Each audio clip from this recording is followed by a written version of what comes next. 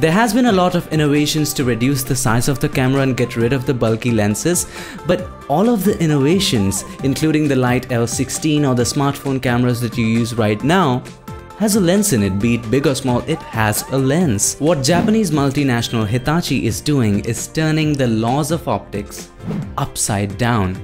It's getting rid of the lens. Come on, even our eyes have lenses and those with contact lenses, they have two lenses per eye. But the point is removing the lens is specifically focused on improving the camera technology. And you don't have to worry about dongles and connectors. What this means, what advantages or disadvantages will this have over traditional cameras? More on this coming up. Before we begin, if this is your first time here and you're looking for most interesting stories, tutorials, updates, tips and tricks from the creative community, make sure you hit the subscribe button. Let's get started.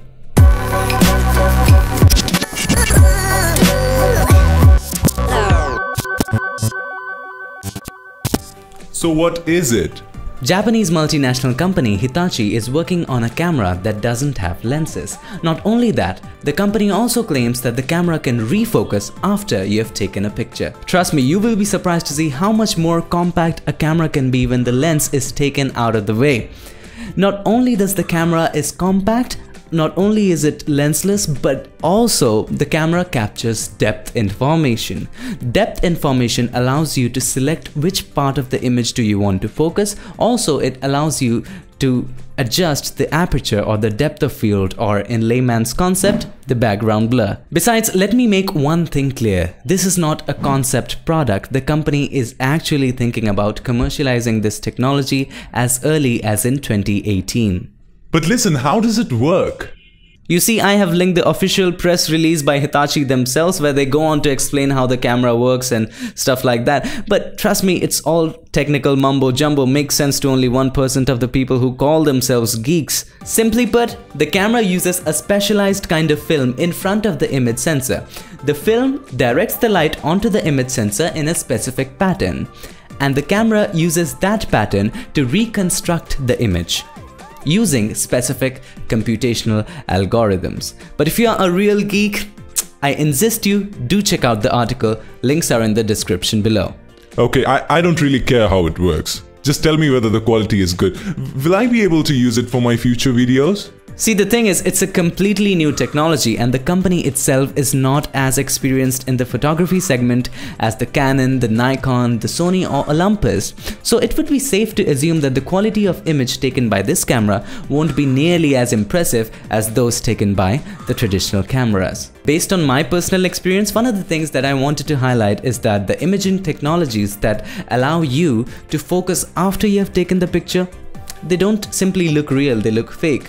For example, the Light L16 or the Lytro. A recent example would be taking the image from smartphone camera which has two lenses. The two lenses, what they do is they capture the depth information and apply depth information to the image that you have already taken and then apply blur to that image. They just don't look real. As you can see in this example, the image on the left is taken by a Nikon D300S which in itself a 7 year old camera using a f2.8D DX lens and one on the right is the latest iPhone 7 Plus. As you can see, both have blurred the background pretty well when looked from a distance but if you zoom in and look at the hairs, you can clearly point out the fakeness of this smartphone. Here the smartphone used depth information to artificially create background blur while in the DSLR, the background is actually blurred due to the wider aperture of f2.8. See, for any photographer or videographer, the quality is the top priority. If the quality is not that good, what's the point? Do you remember the days when mirrorless cameras had just came out you know, it had a lot of issues, right? It had battery issues, it ha still has battery issues, the image quality was not as good as the DSLRs, but today, as you can see, the technology has developed so much that some cameras like the Sony a7S II or the Olympus, uh, some new Olympus camera and the Panasonic GH4, they are actually beating the DSLR, at least in the video segment. So the birth of the technology is in itself a huge step. If it's brought into the market, we can expect developments to follow up. Besides, Hitachi says that it expects the camera to be used in robotics, self-driving cars, mobile devices and human behavior analysis systems. So It's not there yet to replace the traditional cameras, it's there for other purposes and it can be greater. What do you think? Will this technology take off or just get ignored like the 3D TVs? It raises a lot of questions because it simply throws away the optics out of the map.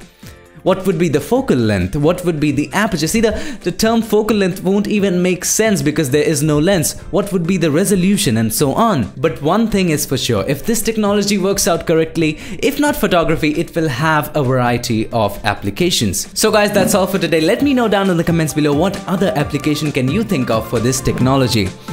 Also, like the video if you liked it, dislike if you dislike it, and I'll see you guys in my next one. Till then, stay tuned and thank you so much for watching.